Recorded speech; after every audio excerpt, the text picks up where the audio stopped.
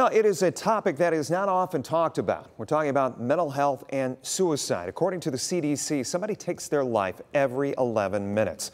But a local teenager is trying to change that by sharing her struggle and her story. Kaylee Kirby has the details. I started struggling with my mental health when I was 12 years old, but I attempted suicide when I was 13 years old. Paula Jabri says she knew she needed help. It wasn't until I was 14 when I attempted suicide again that I ended up asking for help. That was three years ago.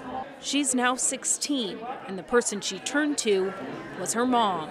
I truly didn't realize how bad she was feeling until after she had already attempted suicide. And then um, she did eventually come to me she says, like many parents, she just attributed her daughter's changes to moodiness and being a teenager. According to the National Alliance on Mental Illness, that's pretty common. Leaders there say it's a difficult topic to navigate, but one that's important. Suicide is the second leading cause of death of those ages 15 to 18. Um, so it, obviously this is a pressing issue. It's something that we need to address. Knowing where and who to turn to is just as important.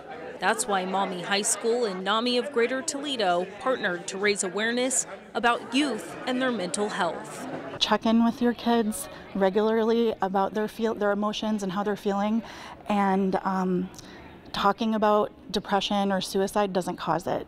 Jabri says she's better now and has something to live for. She's helping the people who are her age, who might be suffering in silence. It's important that they get help because they shouldn't be just continuing to struggle.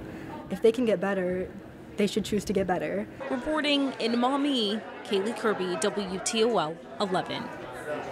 Now, if you or somebody that you know needs help, contact the Suicide and Crisis Lifeline. That is at 988. We have a list of local programs and organizations posted on our website right now.